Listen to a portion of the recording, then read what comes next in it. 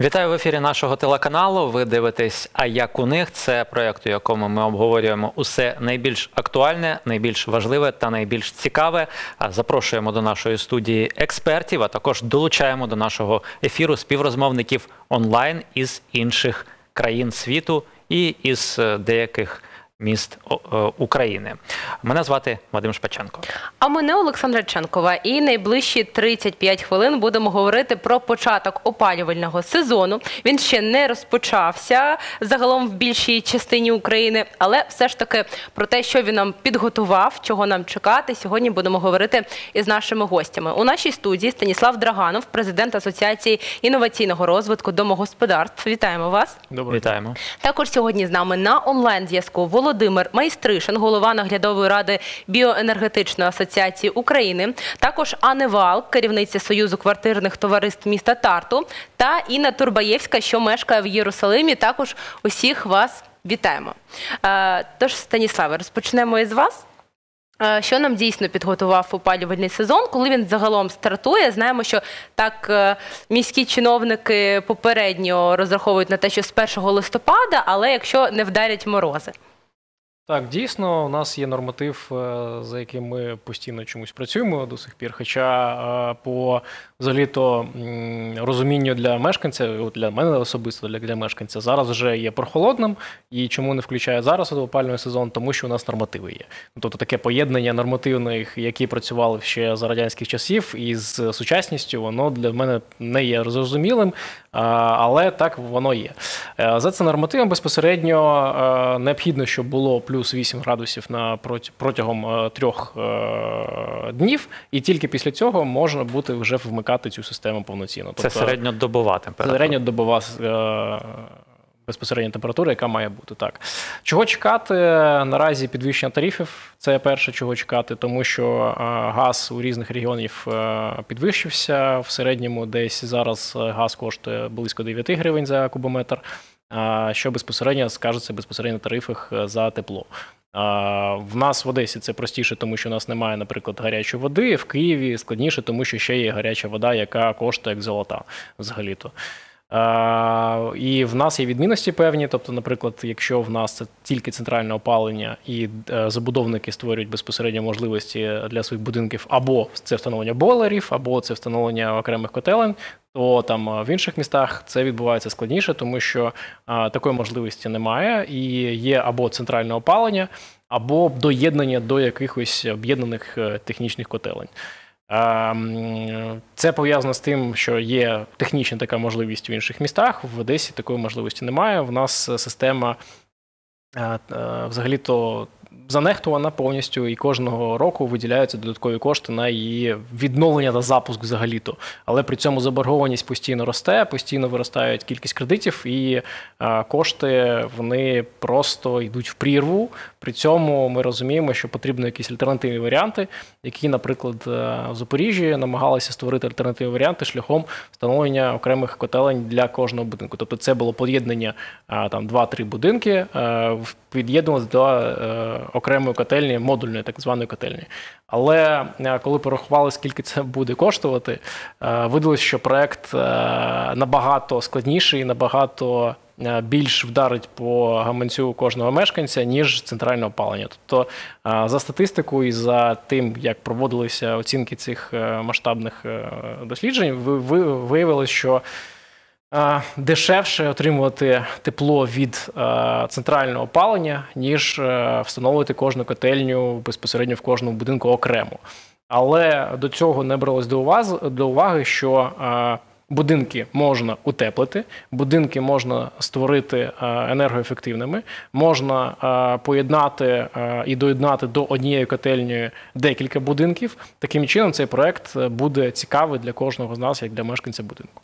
Можна говорити, що, от, е, е, наприклад, в Одесі погана система, а в Києві хороша система. Чи не можна так говорити?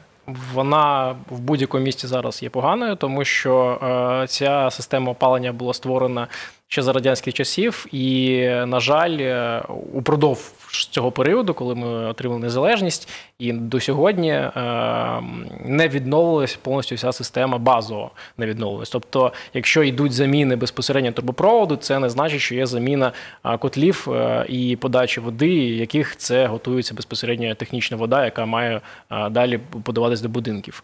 І е, загальна проблема опалення опаленого сезону безпосередньо в тому, що е, дуже велика кількість е, йде у повітря, тобто ми сплачуємо за опалення повітря, не за опалення наших домів безпосередньо. На жаль. Е, і єдиний варіант, як це можна вирішити, це е, модульні котельні. Теплі кредити. Теплі кредити вони є. По-перше, це кредит. По-друге, він є складним для безпосередньо кожного мешканця тому що це потрібно провести технічне обстеження будинку, виявити, де саме йде найбільша тепла витрата. А купити цей е, проект потрібно заплатити кошти, і після того тільки можна буде приймати участь безпосередньо у теплому кредиті.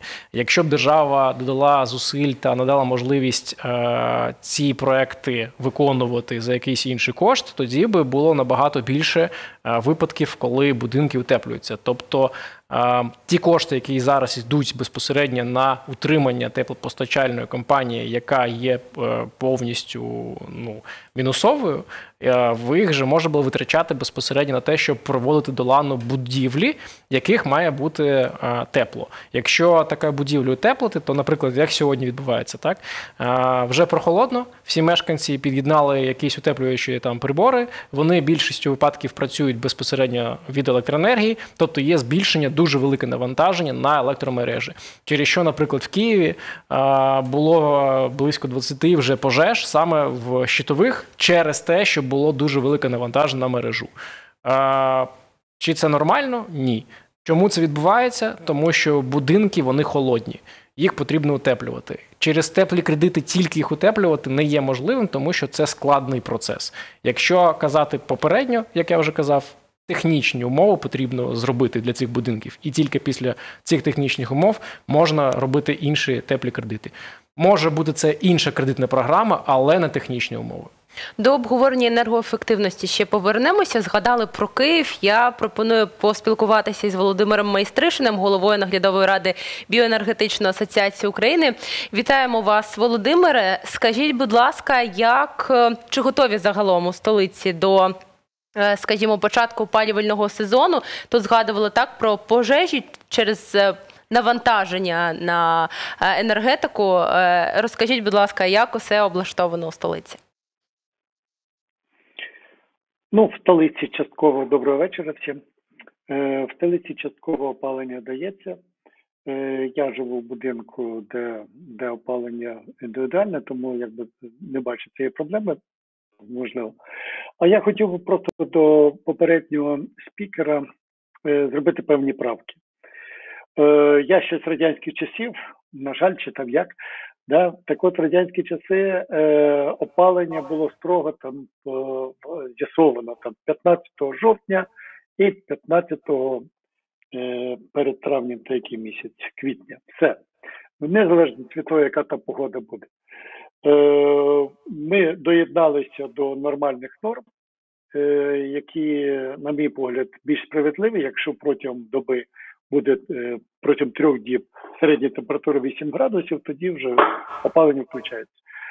Я знаю, що в Одесі набагато тепліше, ніж у Києві. Я думаю, що можливо і такі міста, як Одеса, в тому числі виграють від цієї інновації. Це перше питання. Друге, точніше, перша така правка. Е, друга правка це те, що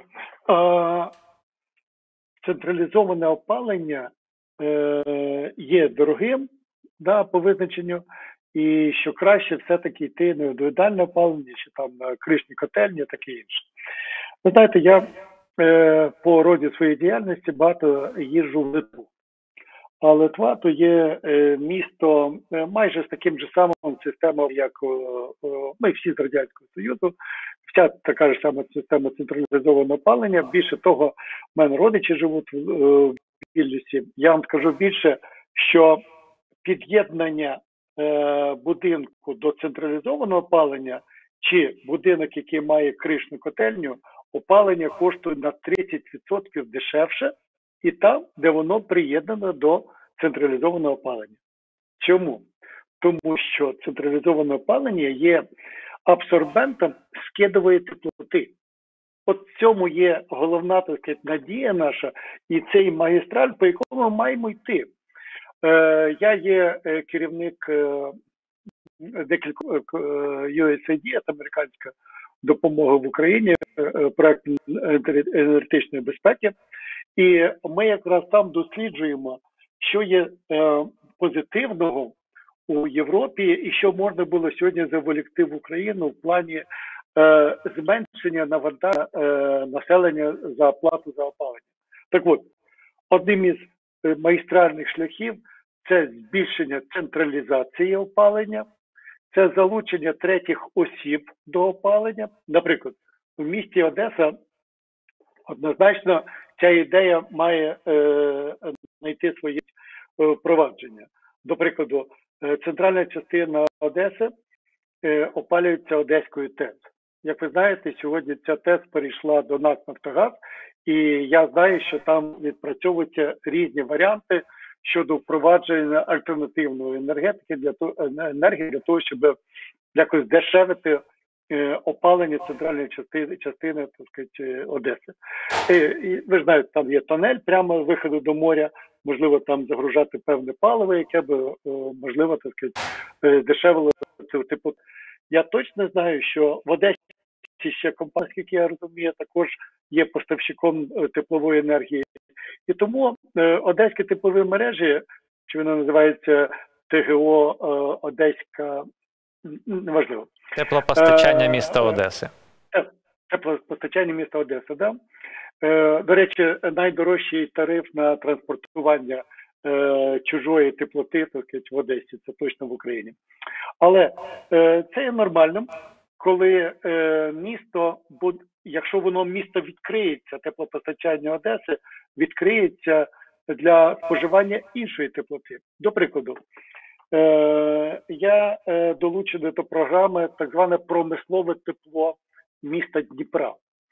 Е, Два тижні тому назад під е, егідою мера міста, відповідних громадських організацій, відбувся форум, так зване промислове тепло для теплопостачання міста Дніпра.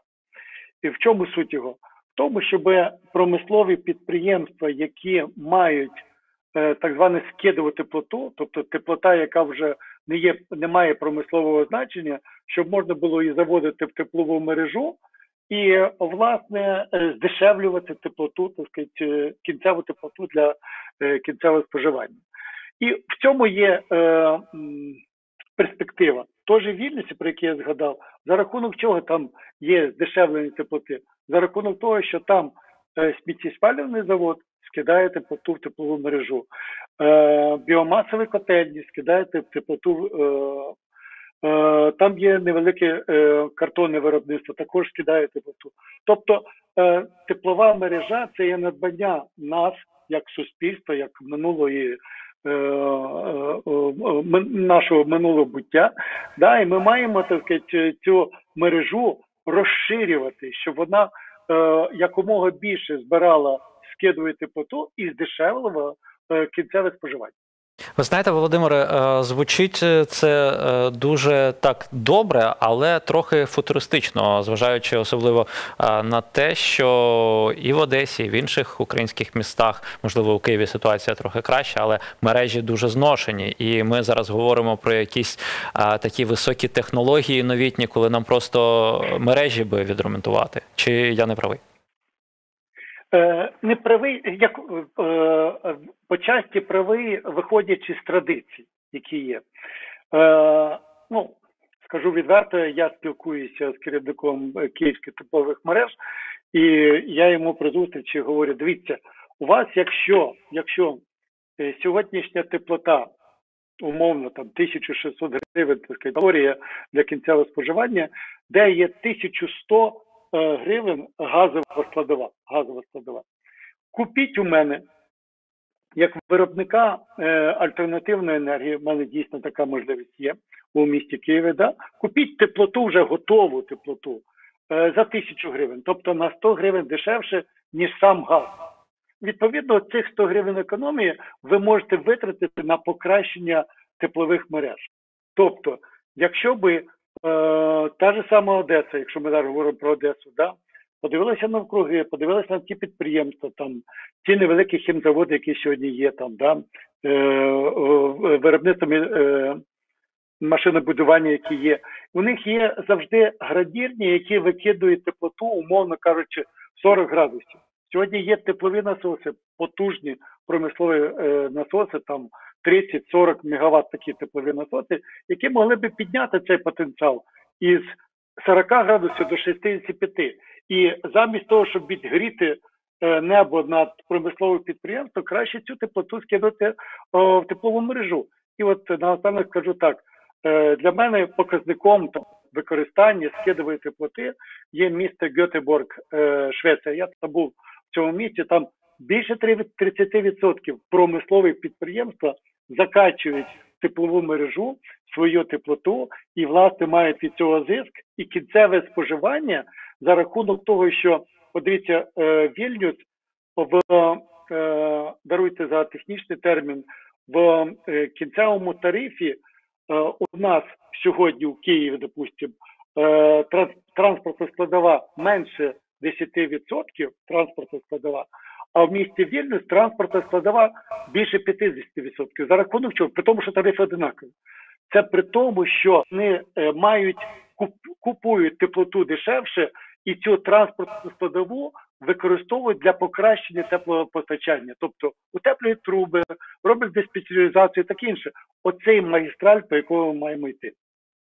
Дякуємо, Володимире. Я от перед тим як перейти е, до європейського прикладу, Дякую. у нас е, немає е, з Вільнюса представника, але є представниця Естонії. Але перед тим, все ж таки, хочу Станіслава запитати, чи хочете якось парирувати Володимирові щодо його відповіді?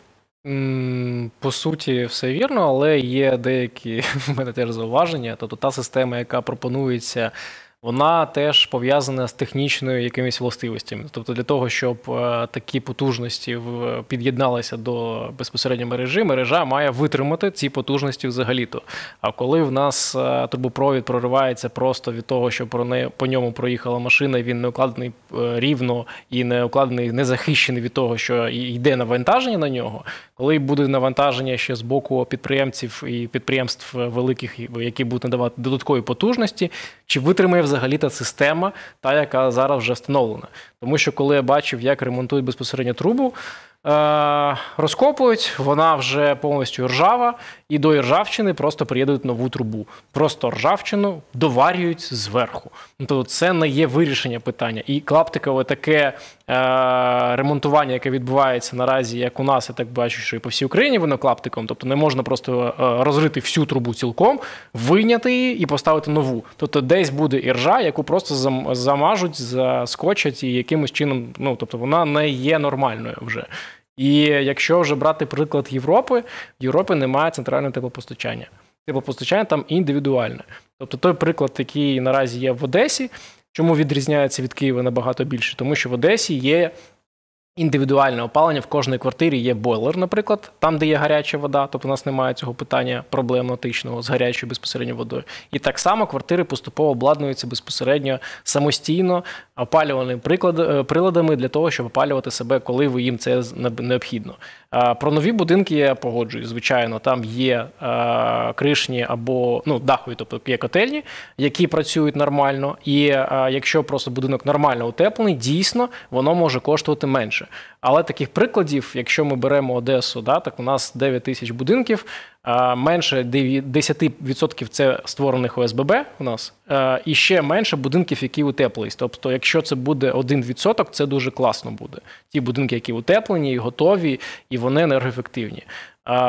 Якщо ще більше це питання підняти, так то має бути на будинок встановлений енергопаспорт, який показує, скільки е, цей будинок витрачає енергії на своє утримання. Тобто, як як ми приходимо додому, в нас є там микрохвильова піч або є холодильник, так і на ньому є відмітка, якої потужності він є там А або G найменше. А це найбільше, тобто він менше використовує електроенергії на вироблення холоду. Або G – це якщо він просто там не знаю, він працює від бензину, наприклад.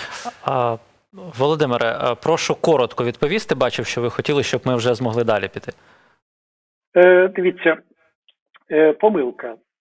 Е, Централізоване опалення в Європі є розповсюдженим. Е, Можемо говорити про Данію, вони навіть е, сільську місцевість централізують. Да, Ми говоримо про Фінляндію, ми говоримо про Естонію, ту Литву. Я думаю, колега з Естонії зараз підтвердить. Е, Тому е, говорити про те, що е, наш шлях це створення е, котельні в кожній е, на кожній кухні. Е, колись Китай цим шляхом йшов. Вони робили навіть доміни пічі, так сказати, у кожному селі. Але найголовніший момент рвуться труби не від того, що додаткове навантаження, а від того, що неправильний тепловий температурний графік. Але це вже тема окремого нашої розповіді. Якщо буде цікаво, я можу більш популярно розказати. Ну, нарешті, давайте перейдемо до європейського прикладу. Анне Вал, керівниця Союзу квартирних товарі... товариств міста Тарту, з нами сьогодні на зв'язку. Перейдемо на російську, щоб Анна нас краще розуміла. Анна, здравствуйте. Расскажите, пожалуйста, как в, Эстро... в Эстонии обустроена отопительная система? Есть ли уже отопление в вашем доме? То есть каждый ли дом оборудован отдельной котельной? Как все обустроено? Рассказывайте. Добрый вечер. Э, могу сказать, в Эстонии, конкретно в городе Тарту, э, когда еще был Советский Союз был, э, тепло подавалось дома, да, из котельни. Как только в 1996 году Так, маємо певні технічні проблеми. Перервався зв'язок з Естонією. Е, будемо сподіватися, що він е, налагодиться згодом. Анна, чуєте нас? Можливо, вже слышите нас, Анне? Поки проблеми Поки з Естонії. Можливо, поспілкуємося із Інною Тербаєвською е, з Єрусалиму. Давай. У Єрусалимі опалення взагалі немає централізованого. Як так е, живуть ізраїльтяни? Ну, зрозуміло, що там тепліше, тепліше набагато, але все ж таки взимку там буває прохолодно. Інно, розповідайте, будь ласка. Добрий вечір. Эм, ну, я могу сказать, что у нас центрального отопления нет вообще нигде, да, то есть каждая квартира, только если это горные районы или север страны, тогда у нас есть э, системы каждой квартире сам себе устанавливать или в доме, это юнкерс, это от газа отопление. Ну или кондиционеры, или какие-нибудь плитки, которые греют. Но я, когда услышала вашу цену за газ, вы, конечно, жалуетесь, что дорого, но я очень сильно завидую, потому что в Израиле куб газа, если пересчитать на гривны, стоит 140 гривен, поэтому сильно не, не раскошелишься. в том, чтобы топить так, чтобы жарко было очень зимой. Э, поэтому включает каждый, вот пришли домой, включили, чуть-чуть нагрелось, и под одеяло, теплые пижамы, все тепло одеваются, потому что большую часть зимы дома холоднее, чем на улице. Поэтому все мемы, которые ходят в интернете, что израильтяне сложили летние вьетнамки достали зимние на меху, они абсолютно правдивые, потому что э, зимой дома мы одеваемся примерно так же, как в Украине на улице, потому что очень холодно. Чи не зростає навантаження на електромережі? Ну, зрозуміло, що воно зростає, але чи не зростає критично? Поламки часто стаються, коли от прохолодно на вулиці? Ну, на самом деле это бывает, э, но достаточно редко. Э, поэтому, когда подозревают, что будет очень большая нагрузка, когда очень холодно или мы ждем заморозков, то тогда просят, что, допустим, не включайте, пожалуйста, вечерние часы, там, стиральные машины, посудомойки и все остальное, оставьте это на время, когда люди не греются, не включают отопление чтобы тогда просят просто распределить э, по времени нагрузку на электросистему. Е, Зрозуміло, що головний лайфхак е, мешканців Ізраїлю це економити так е, на теплі, тобто тепленько вдягатися і так далі. А що з приводу енергоефективності? Можливо, також є так, скажімо, така практика, коли утеплюють оселі чи ще щось. Щось просто тепло одягтися найкращий метод енергоефективності. Ну, на самом деле, дома построены все так, что ни про какой энергоэффективности говорить э, не приходится, к сожалению, потому что огромные окна, эм, через которые все уходит практически. Если это свой дом или своя квартира, да, можно как-то э, поменять, ну, по крайней мере, поменять окна в доме, да, и двери. Но как такового утепления мы не делаем, потому что, ну, в среднем температура зимой в Израиле это 15 градусов.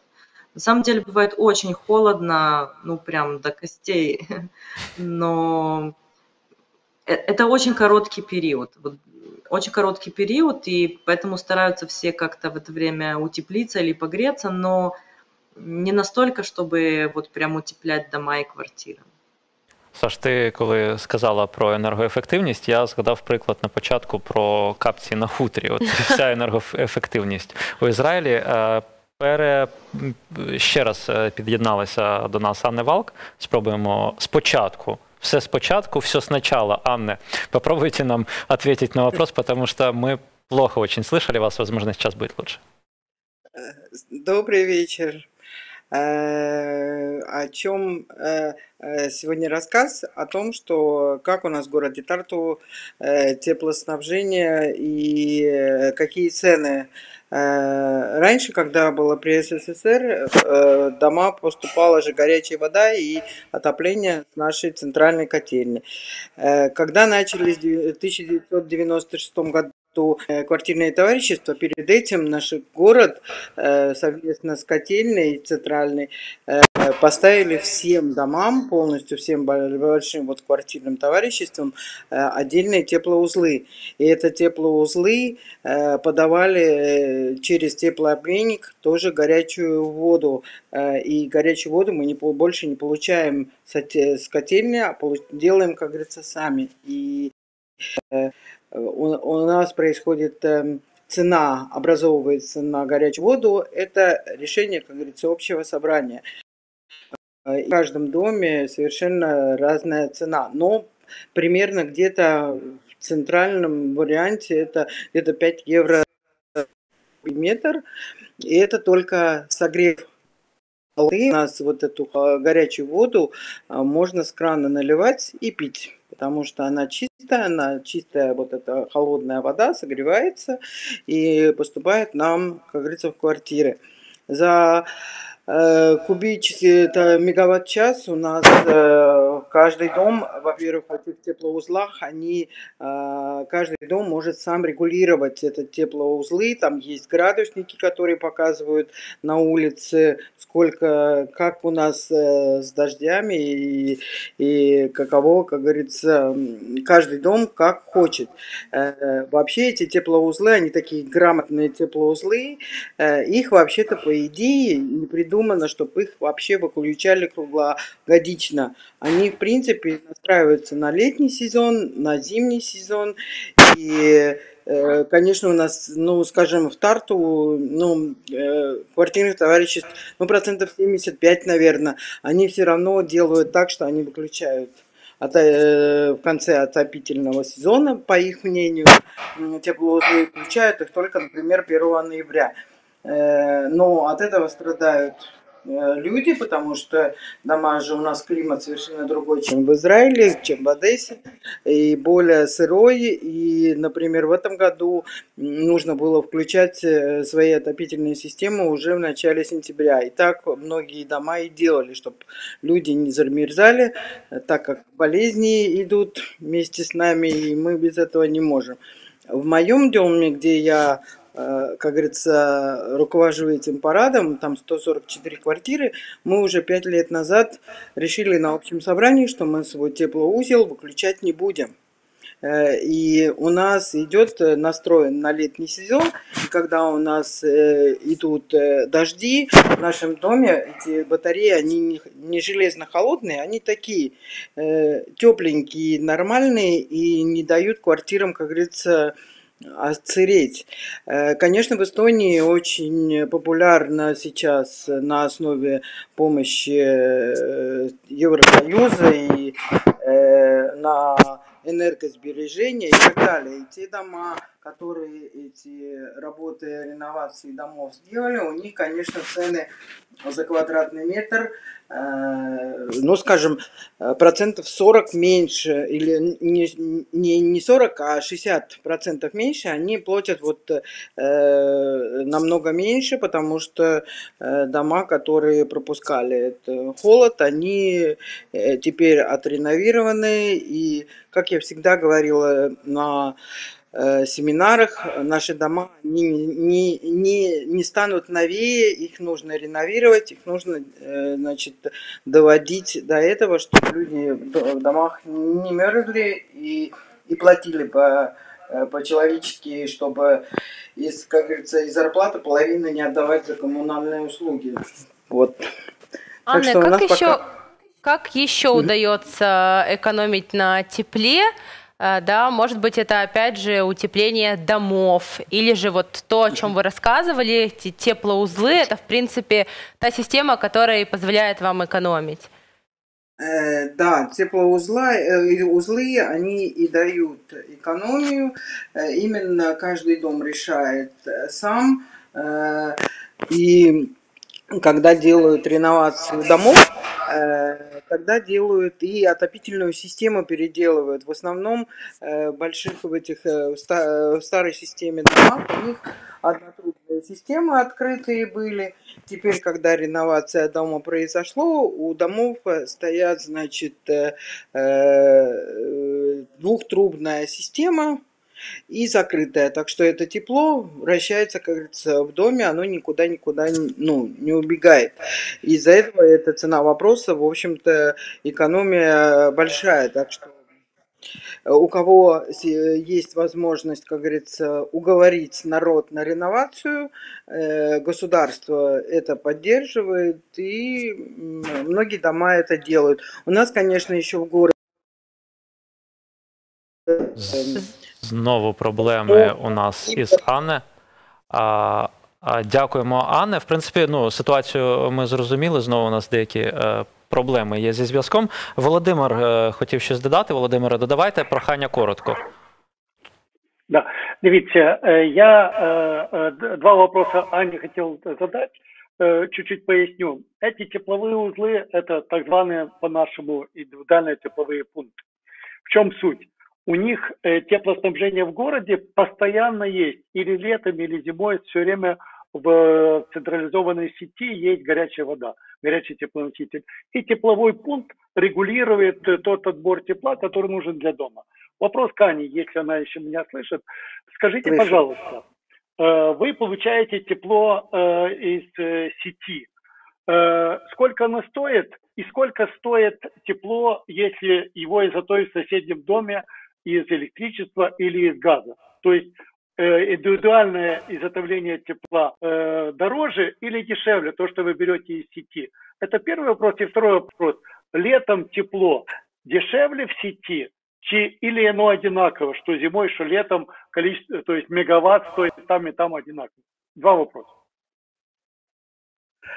Э, Мегаватт-час у нас уже на самом деле очень давно ну, не регулировался, не поднимался. Сейчас в данный момент у нас за э, мегаватт-час стоит 50, в том- именно в городе Тарту, э, стоит 58 э, евро и 20 центов за один мегаватт-час. И у нас есть дома, которые отапливаются газом, и есть, но они переделывали всю систему, э, но, скажем, 85-90% домов у нас идет все-таки через центральную э, котельню, И там уже э, в Тарту есть эти котельные, они есть на древесной системе, которую используют, например, ночью э, центральная котельная. Это вот вся система, она общая у центральной котельной, просто они переделывают, э, ну, переключаются с газовой системы на э, древесную э, именно по ночам. И у нас есть спальный район, э, к, моему, к моей радости название это Анне. Район, это спальный район, вот он переключается как раз э, э, ночью на древесную систему, она более дешевая, зато э, в Тарту как раз вот мегаватт час цена еще не поднималась. Мы это ожидаем, но, скажем так, сейчас в данный момент за газовые, вот те дома, которые на газе сидят, вот у них это сейчас дороже получается, чем вот центральная вот эта котельня подает. Так Спасибо що... большое, Анне. Дуже в нас вже мало часу лишилося. Станіславе, давайте підбивати підсумки. Чи підійде Україні, наприклад, естонська система? Але я тут почула про реновацію будинків, так і звичайно ж модернізацію і е, теплопостачання. А ось нам підійшла б така система, і, і чи може це взагалі колись відбутися? Ем, Дивіться, це складне питання, тому що пов'язано з тим, до якого будинку йде мова, про який саме будинок ми кажемо. Якщо це будинок більш-менш новий, то це можливо зробити. Якщо технічно будинок неможливо, це Хрущівка, наприклад, стара, то в ній це неможливо зробити. Тобто є різні будинки за різним роком будівництва, в якому кожному з них можна приміняти якусь окрему систему. А, І е, взагалі-то про систему реновації в Україні також е, казали про це, про те, що можливо це зробити, і була спроба така створити реєстр, де буде зазначено типові будинки в Україні. Але коли почали цю систему створювати, прийшло розуміння того, що у нас взагалі-то типових будинків немає. І навіть якщо проект був один той самий, після виконання цього будівництва ці будинки різні взагалі-то. Тобто, наприклад, ми беремо дві п'ятиповерхівки, вони, начебто, е, біля ну, рядишком е, знаходяться, але вони різні. Як це відбувалося? Ну тому що економили на всьому, на чому можна було, і в цих прикладах, які я приводжу, теж була якась економія іншим чином відбувалася вона просто. І тому це проект про типовий будинки взагалі-то закрився. Вирішувати, як це можна вирішувати, е, це є рішення безпосередньо місцевих рад. Е, за безпосередньо принципом того, що більше і що можливіше зробити за кошти, які є в цій громаді, для того, щоб е, е, ця система працювала. Але та тенденція, яку я зараз бачу, центральне опалення воно поки що працює, але поступово воно нивелює саме себе. Е, через те, що е, стан цієї системи в нас він дуже поганий, і ті кошти, які наразі виділяються на ремонтування цієї системи, вони не виправдовують себе взагалі-то. Як е, один із спікерів наводив приклади, як це можна вирішувати, тобто через промислове підприємство, таке інше. Ну, Наприклад, в Одесі цих промислових підприємств дуже мало, і цього буде не вистачати для того, щоб переходити на інший е, формат опалення. І також е, я наполягаю на тому, що система вона є е, занедбаною.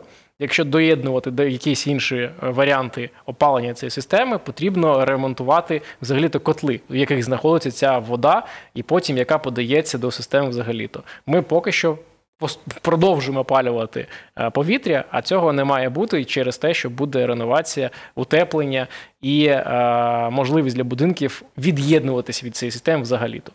Тобто ситуація складна, але все ж таки ми е, Вирішити у нашому можна. ефірі бачимо, що варіанти є. Потрібно просто якось визначитися і працювати е, над реалізацією.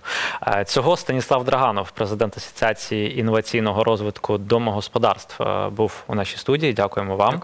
Дякую, Онлайн до нашої розмови доєдналися Аневал, керівниця Союзу квартирних товариств міста Тарту, Володимир Майстришин, голова наглядової ради біоенергетичної асоціації України. Народ народний депутат України четвертого скликання, і Інна Турбаєвська, мешканка Єрусалиму. Дякуємо нашим Дякуємо. співрозмовникам онлайн. А це а як у них ми повернемося в ефір за кілька хвилин із іншою темою.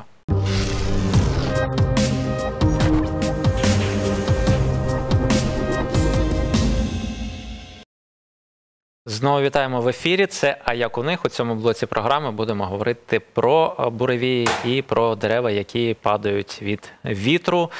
Нещодавно минулої минулого тижня Україною пронісся буревій, поривистий вітер, який повалив дерева на Буковині, у Львові, в Одесі.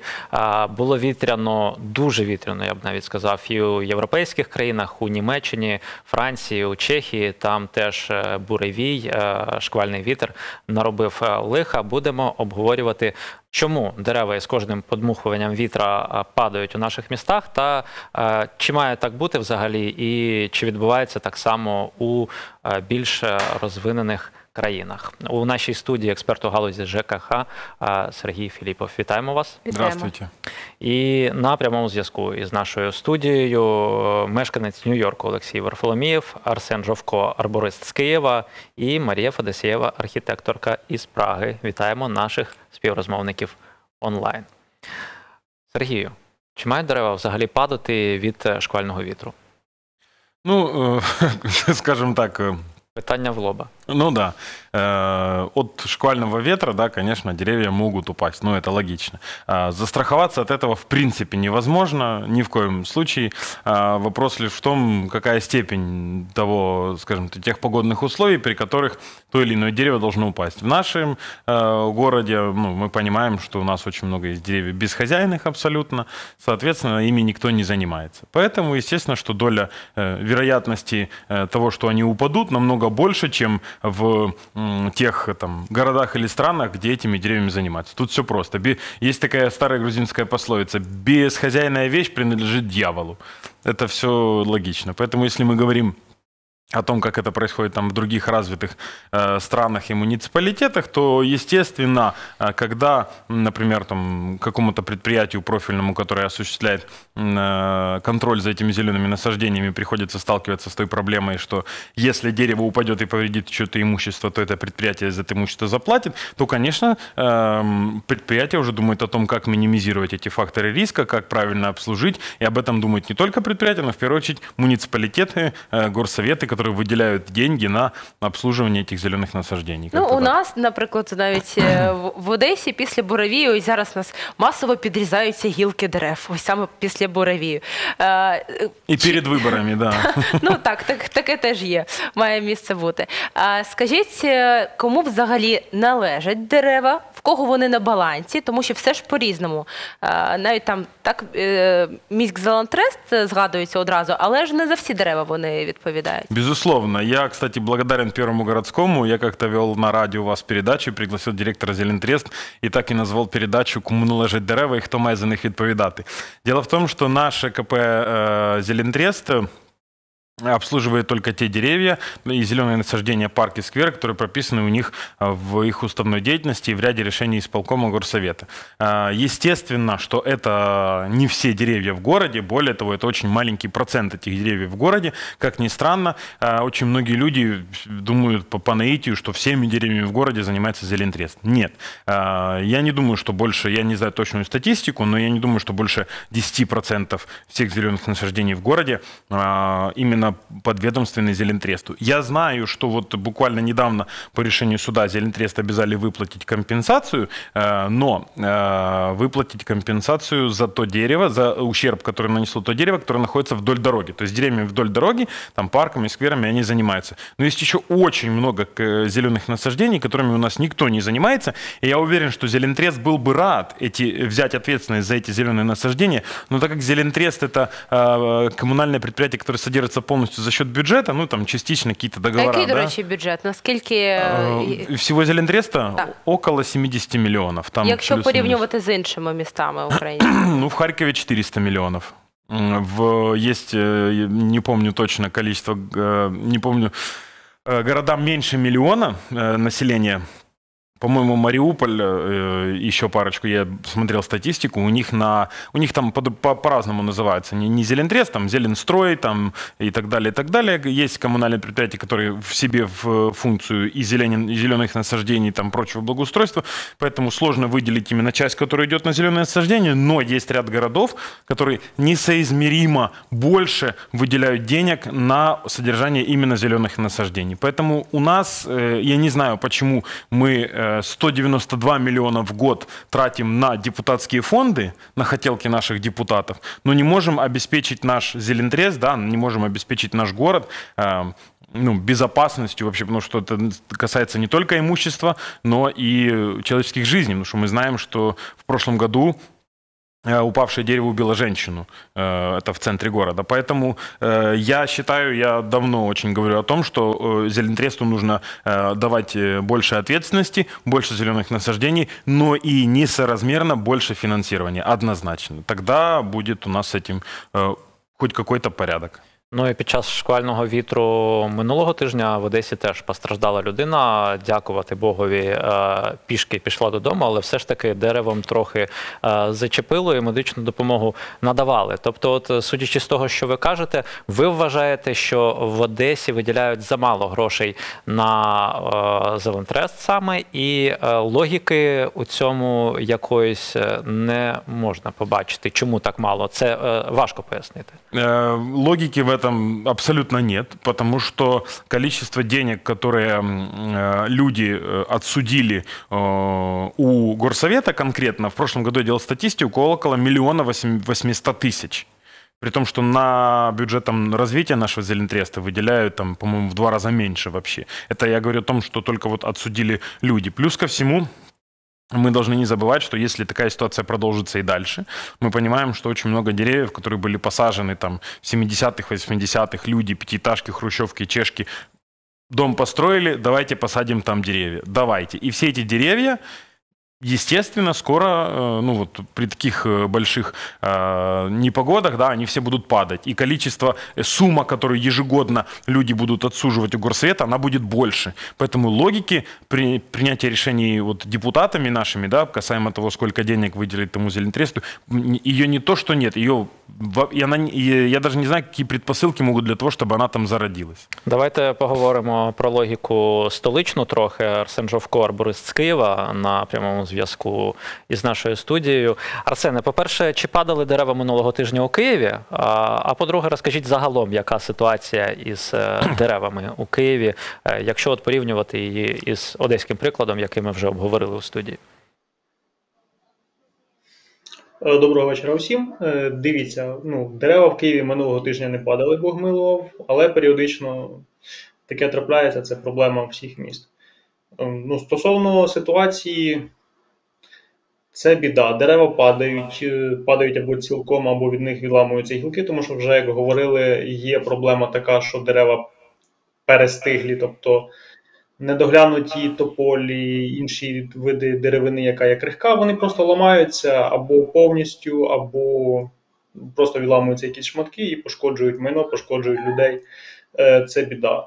Проблема в цьому е, глобальна, тому що е, я би її розділив на дві частини. По-перше, є проблема того, що для того, щоб комплексно запобігти падінню дерева, це практично неможливо, тому що робити ультразвукове обстеження кореневої системи, дивитися, чи дерево е, не виверне з корінням, це майже нереально. Можна просто зменшити таку кількість е, дерев. І так, в столиці теж регулярно після кожної халепи, після того, як проходить буревій, робляться якісь рухи.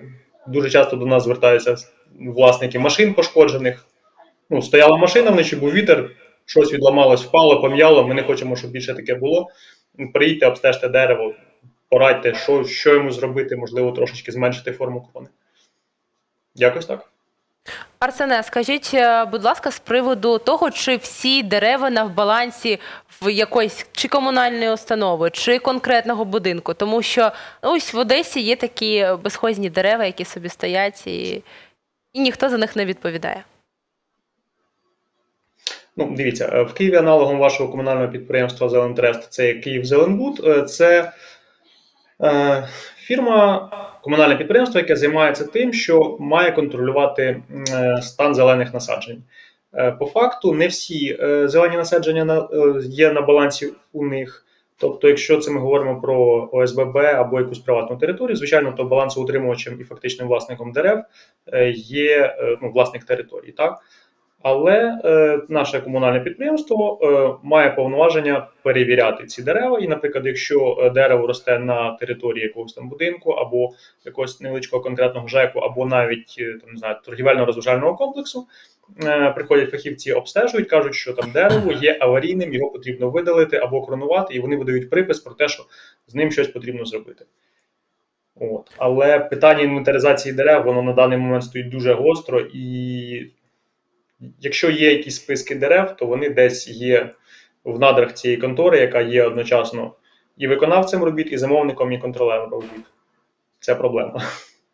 Арсене, ви як е, найбільший спеціаліст дерев з поміж усіх учасників ефіру, розкажіть нам, будь ласка, спеціалісти одеські е, неодноразово казали про те, що дерева в Одесі та й загалом у межах міста вони живуть менше через екологічну ситуацію, і тому і так падають, тому і стаються такі ситуації. До них е, їх не можна порівнювати там із середньостатистичним, припустимо, там клен середньостатистичний а, у природі із кленом там у місті. Е, це неправильно так порівнювати. У нього термін життя у місті точно буде меншим. Це правда? Дивіться, я не є спеціалістом з фітопатології, але е, звичайно, ну міська біосистема, екосистема вона значно відрізняється від дикоростучих. Е, тут є багато факторів, починаючи від вмісту всяких там вихлопів в повітрі, закінчуючи тим, що дерева зачасту закладають плиткою, заливають в бетон, закатують в асфальт, а потім дивуються, ну а чого дерево сохне. Звичайно, місто це мікросистема, яка кардинально відрізняється від того, що відбувається в дикій природі. Це стосується і шкідників, і температурних режимів, і вітрових режимів. І ну я не знаю, як Одеса, Київ активно розбудовуються, передмістя ростуть, включаються в міста ті е, зелені зони, які колись були лісами. Там там все дуже складно. Е, Це це біда, це проблема, і плюс зміни клімату, про які всі говорять, вони такі є. В Києві славетні київські каштани винесені на герб.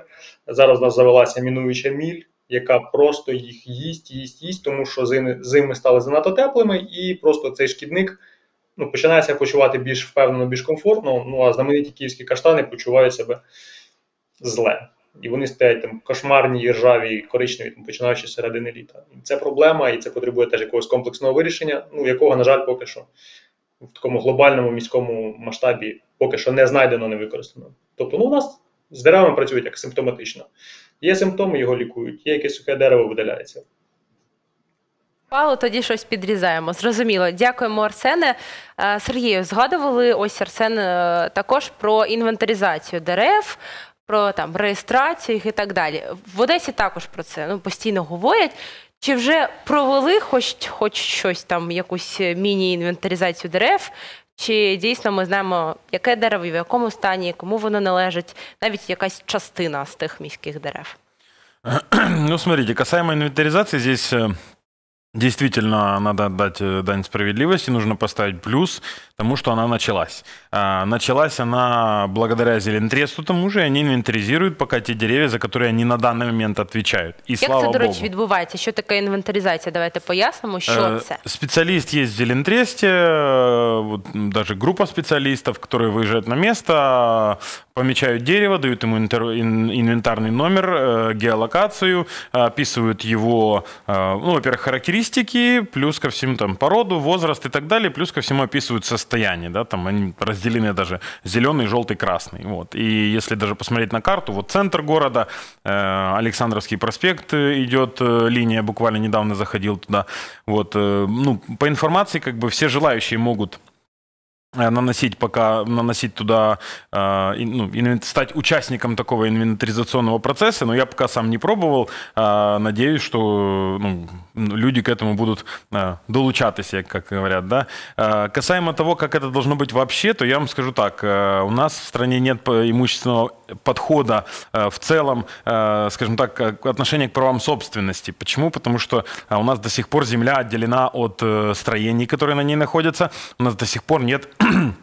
нет шаров. Шары в том плане, вот коллеги, наверное, из зарубежных стран меня поймут, что есть, допустим, э, э, кадастровая карта, да, там нет белых пятен. У нас на кадастровой карте белые пятна, и деревья на этих белых пятнах стоят. То есть, э, и вот касаемо коллеги из Киева, я немножко не согласен касаемо ОСМД и балансодержателей домов. У ОСМД, если бы была земля в собственности, в совместной, и зеленые насаждения, тогда да. А так эта земля во всех домах практически, она городская. И здесь очень большие судебные споры по этому поводу. Поэтому э, вот в развитых странах есть, допустим, шар э, в собственности в первую очередь, да, принадлежности Земли. После этого дальше идет водопроводные канализационные сети, тепловые сети, электросети, благоустройство, зеленые насаждения и так далее, и так далее. И эти все шары ты видишь на карте, и ты видишь комплексно, кто за что отвечает. То есть а, ну, в правильные страны они взяли всю страну, поделили на участки земельные. Вот даже если представим себе просто дорожное кольцо, да, асфальтовое полотно, например, разметка, у него есть свой закрепленный кадастровый номер, есть свои границы, есть свой документ, есть ответственный даже за это дорожное кольцо, за дорожное полотно и так далее, и так далее.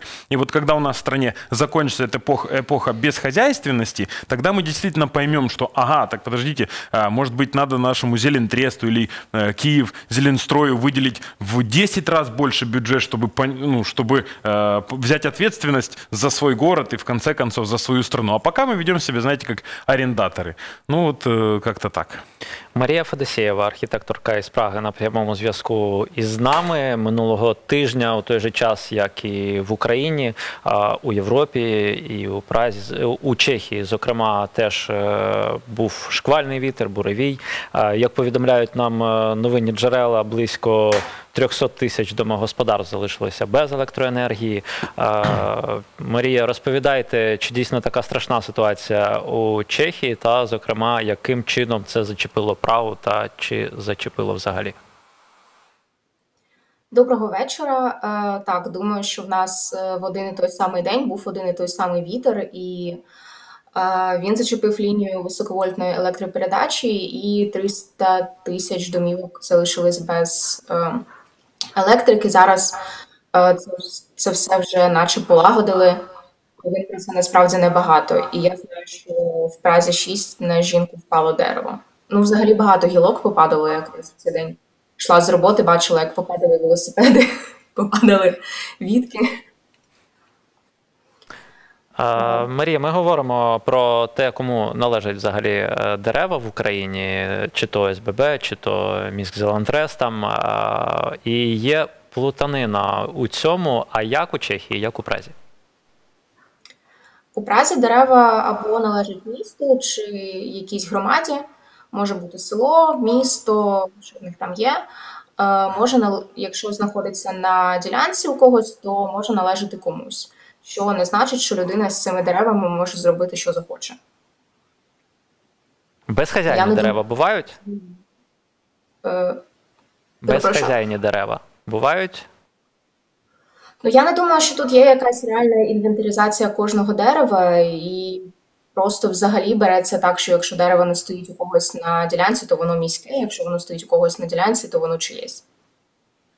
Якщо, наприклад, дерево стоїть на ділянці багатоквартирного будинку, і ось, наприклад, я не знаю, гілка впала на машину, а водій, так, е, власник цього авто, ось захотів спиляти ту гілку чи взагалом дерево. Чи можливо це? Тому що в Україні можливо, е, чи можливо у Чехії? Е, в Чехії можливо спиляти дерево, просто треба отримати на це дозвіл, який протриває в середньому два роки. Що е, що потрібно для цього зробити? Що це за процес? Е, це процес, коли робиться дендрологічне дослідження. Приїжджає спеціальна людина, яка замірює, де знаходиться дерево, в якому воно стані, як воно старе, який в нього товстий стовбур. Е, потім на закладі цього дослідження робиться проект по спилу дерева. Фактично, треба просто сказати, тут стоїть дерево, ми хочемо його спилити. Це подається на будівельне управління, і будівельне управління, скоріше за все, скаже ні. Якщо це якесь старе товсте дерево. Якщо воно мертве, то да, це буде швидко і скажуть так. Можно провести аналогию. У вас, э, я помню, на вашей же передаче было э, тоже включение из Праги касаемо аварийных и ветхих домов. И кто-то из Праги включился, у нас была эта проблема, мы обсуждали, был очень короткий комментарий. У нас в Праге таких домов нет. И все, знаете. Ну, власне, от е, судячи зі слів е, Марії, е, чи можна спиляти дерево у Празі? Можна, але потрібно отримати дозвіл. Але вам не дозволять. А, чи, так, чи є е, безхазяйні дерева?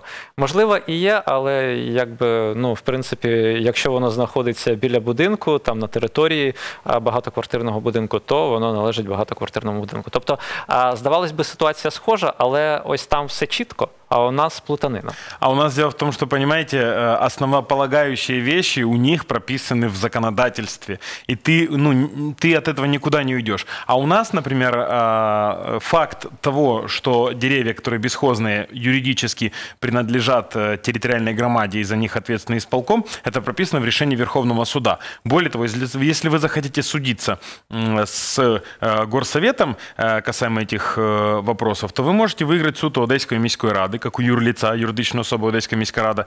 Но Одеська міська рада, она является собственником да, всего коммунального, но э, у Одеської міської ради, э, юридичной особы, нет ни одного расчетного счета, нет никого в штате, там нет ничего, потому что юридичная особа, которая отвечает по всем об- обязательствам, является виконавчий комитет Одеської міської ради, а это совсем другое юрлицо, то есть вам нужно, кроме трех инстанций первого судебного процесса, вам нужно еще судебный процесс пройти по замене ответчика по делу исполком Одесского горсовета.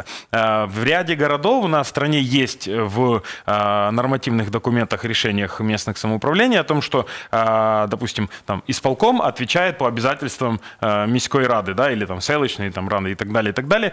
Но у нас в Одессе этого нет. Поэтому основополагающие вещи, которые упрощают жизнь людей э, в э, развитых странах, у нас, к сожалению, нужно их где-то искать, где-то смотреть, э, обращаться к юристам, тратить кучу денег на адвокатов для того, чтобы защитить свои права. А до речі, з приводу прав та е, судів, чи е, реально взагалі в Україні, загалом в Одесі, добитися ну якоїсь компенсації, якщо, наприклад, е, дерево впало на автомобілі, пошкодило його, або ще гірше, якщо завдало шкоди здоров'ю, так Е, Да, это все реально. Э, Да, надо потратиться на адвокатов, но сейчас это реально. То есть э, я вот уже, как я говорил, повторюсь, около миллиона восемьсот тысяч за в 2020 году одесситы отсудили у горсовета. Даже было э, на аппаратном совещании, на одном из аппаратных совещаний у нас в горсовете, директор нашего юрдепартамента Инна Поповская возмущалась по поводу того, что люди отсуживают у нас деньги, да, почему мы не занимаемся деревьями. Ну, ей сразу ответили, что как бы, ну, нам нужны деньги, чтобы заниматься всеми деревьями, а не так, как вы хотите. Себе депутатский фонд, да, а Зелентрест, идите вот, вот вам по минимальному. Они ж, дело в том, что Зелентрест подает на, на бюджетной комиссии, да, на департамент финансов свои предполагаемые финансовые планы. Но им урезают это, то есть им максимально все урезают. Я не видел цифр, которые они подают, но я уверен, что там миллионов 150, 180, 200. Хотя бы так, хотя бы, чтобы уменьшить факторы вероятности, чтобы было повреждено имущество и здоровье людей. Но им вот, э, э, урезают до граничных показателей, которые вот самые минимальные, ну, к сожалению. А, у випадку, коли дерево нікому не належить, і міський зелентрес за нього не відповідає. Ч- В такому випадку можливо до, добитися Да, справедливості? да, это Так. конкретно у горсовета Одесская міська рада за Навіть это якщо дерево не ответственна. на балансі, все одно воно знаходиться на Все території равно, міста. і... безусловно, да. То есть все, что в границах города, и это касается не только деревьев, это касается там элементов инфраструктуры и так далее, у всего есть собственник. Мы, а, знаете, как иногда хочется сказать, ау, мы уже в капитализме, 30 лет недавно его отпраздновали, годовщину капитализма, знаете, уже надо понимать границы ответственности. Более того, даже когда мы были еще в Советском Союзе, все равно у всех элемент, ну, за- тогда за все отвечало государство. Сейчас нужно понимать, и для этого должны быть конкретные, вот как я говорил, шары э, всех этих элементов инфраструктуры, чтобы точно знать, кто за что ответственный. Когда человек ответственный за эти э, вопросы, м, э, тогда, извините меня, он уже прилагает всех усилий для того, чтобы эту ответственность минимизировать и дальше развиваться. Олексій Варфоломієв, мешканець Нью-Йорку. Давайте трохи з Олексієм поговоримо про межі відповідальності, як це відбувається у Нью-Йорку, хто відповідає за дерева, особливо за дерева, які падають, якщо вони там падають, та взагалі чи часто таке буває. Добрий вечір. В Нью-Йорку найдетальніша мапа міських вулиць е, дерев. Тобто ми можемо зараз зайти в онлайн і побачити кожне дерево в Нью-Йорку. Якщо ми хочемо, щоб ви посадили нове дерево, ми теж або заходимо онлайн, або дзвонимо 311 і кажемо, що ми хочемо, щоб на цій ділянці посадили дерево. Нам дають номер, за яким ми можемо стежити за нашим закликом. І Садять дерево. Коли садять нове дерево, то там дві опори ставляться дерева, і е, мульча насипається, щоб не було там е, негараздів. І е, Кожне дерево має табличку. На цій табличці написано Я ваше нове дерево.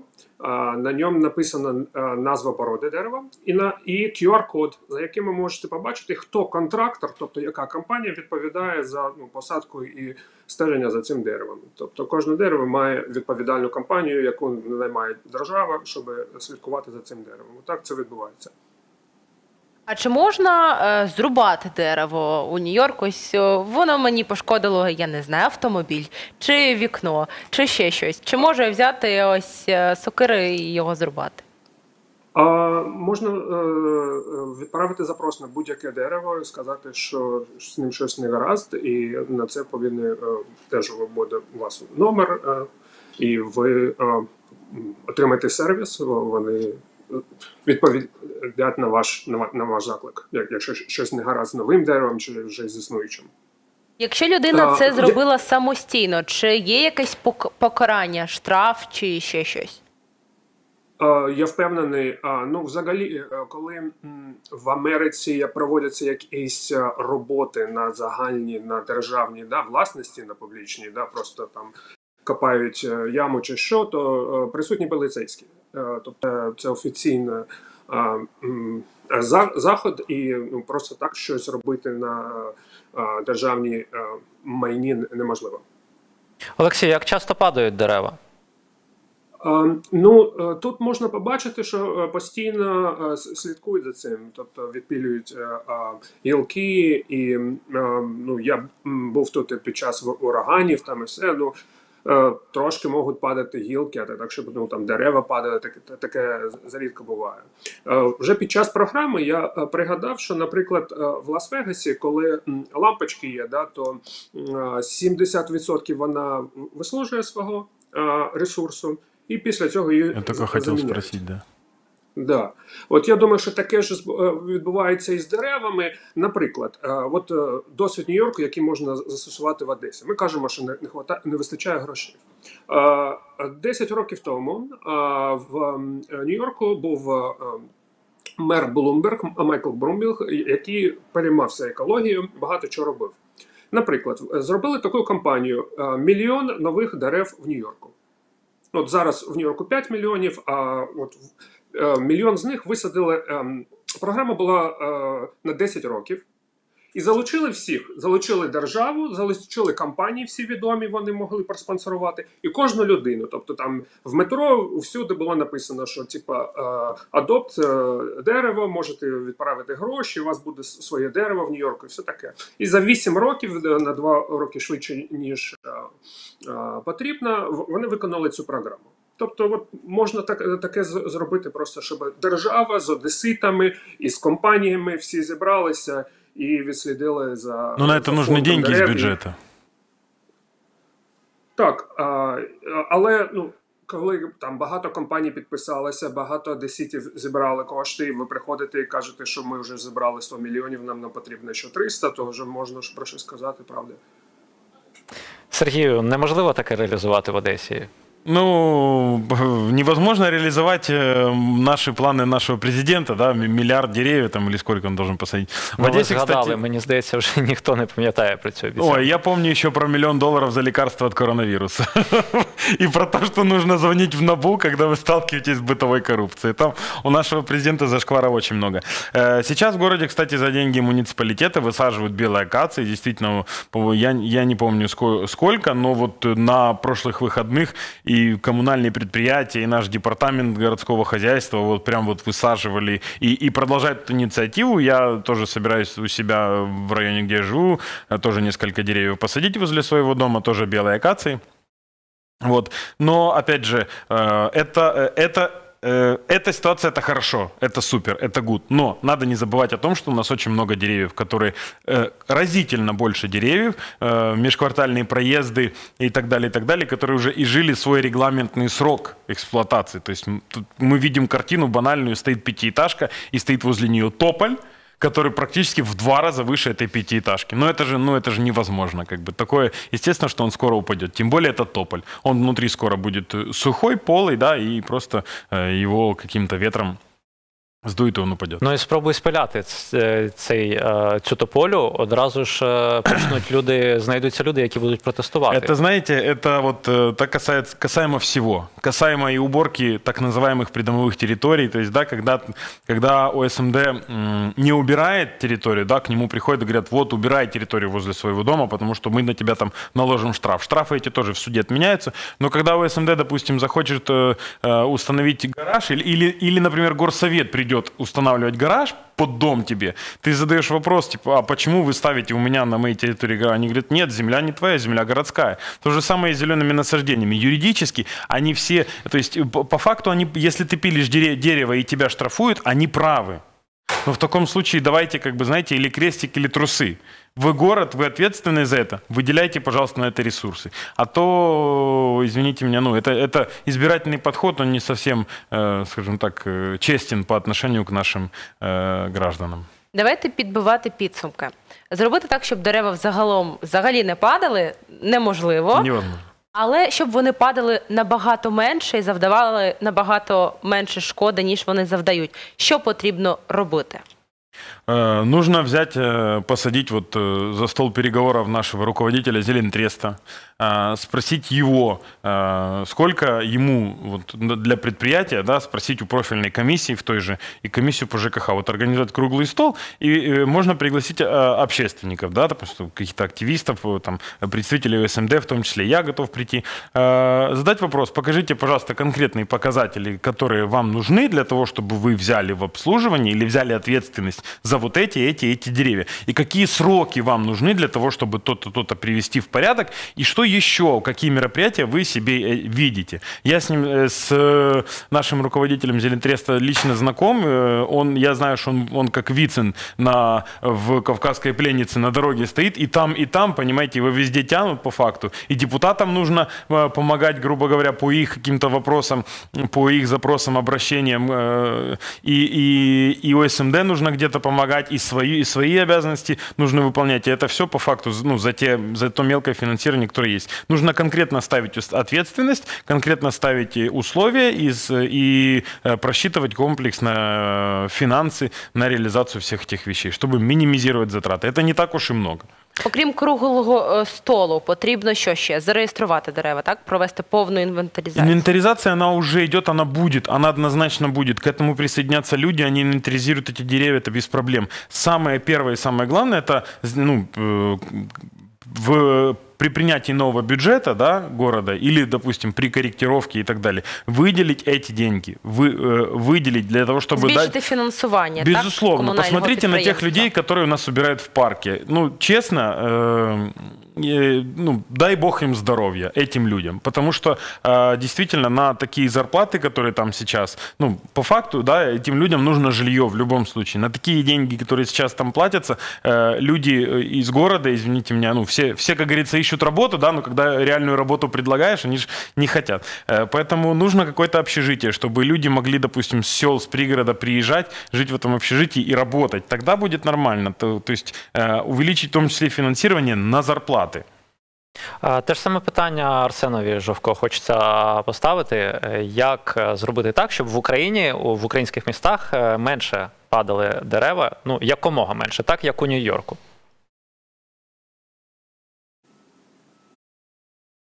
Дивіться, е, збільшення бюджетів це палка з двома кінцями. Якщо ви збільшите просто бюджет, е, виникне питання, хто буде робити цю роботу.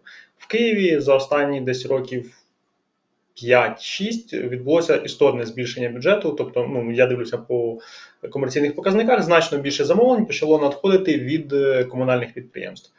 Але проблема в тому, що немає алгоритмів обрізки. Зараз на затвердженні в Київраді знаходиться документ про порядок утримання зелених насаджень, саме як мають різатися дерева, що з ними потрібно робити. Якщо це омолоджуюча обрізка, що робити можна, що категорично заборонено, щоб не зробити гірше, знову таки за гроші платників податків. Тому е, просте збільшення бюджету, мені здається, воно матиме ефект, але е, ви будете дивуватися, що за ваші гроші будуть робити. Тому що в Києві іноді ти бачиш, що роботи ведуться активно, але робиться просто настільки неадекватні речі, іноді. Не завжди, але іноді, що е, я вважаю, що крім збільшення просто фінансування, потрібно одночасно або, можливо, перед цим прописувати алгоритми роботи, щоб влада і громадяни розуміли, що ми робимо зі старими деревами, що ми робимо з молодими деревами, хто за це відповідає. І, звичайно, оплата спеціалістів, тому що комунальники, які працюють з вишок, п'ють, Я- їдять, курять досить специфічні речовини іноді, тому це має наслідки. Я соглашусь и добавлю, что нужно еще немножко добавить ответственности. Ответственности конкретно а, людям, а, которые живут в многоквартирных домах, а, которые являются сособственниками многоквартирных домо- домов, и депутатам, которые принимают конкретные решения. Потому что пора бы, при том, что не нашим депутатам местным, а депутатам Верховной Ради, пора бы уже давно разграничить э, землю и отдать землю в собственность людям. И отдать землю вместе с зелеными насаждениями. И тогда, когда вот будет четкое разграничение по земле, вот жители, э, сособственники пятиэтажки на Черемушках будут знать, где границы своего, своей придомовой территории, будут знать, где их зеленые насаждения, и э, тогда они уже будут точно понимать, что нам э, сумму там, в, с- в смету расходов на содержание дома нужно заложить там статью, там подрезка, омоложение и вообще содержание зеленых насаждений. Ну вот как-то так. Так як у Празі. Да, можно и так сказать, собственно. Ну, власне, на цьому і будемо е, закінчувати. Ми говорили про е, буревії, про дерева, які падають після вітряної погоди в Одесі, в українських містах загалом. Сергій Філіпов, експерт у галузі ЖКГ. Дякуємо, що Спасибо завітали вам. до Дякуємо. нашої студії. А, онлайн до нашої розмови долучилися Марія Федосєва, архітекторка із Праги, е, Арсен Жовко, арборист з Києва та Олексій Варфоломієв, мешканець Нью-Йорку. Дякуємо нашим співрозмовникам онлайн. Це був проект А як у них. Залишайтеся із нами. Побачимося рівно за тиждень. Мене звати Вадим Шпаченко. А мене Олександра Ченкова. До побачення.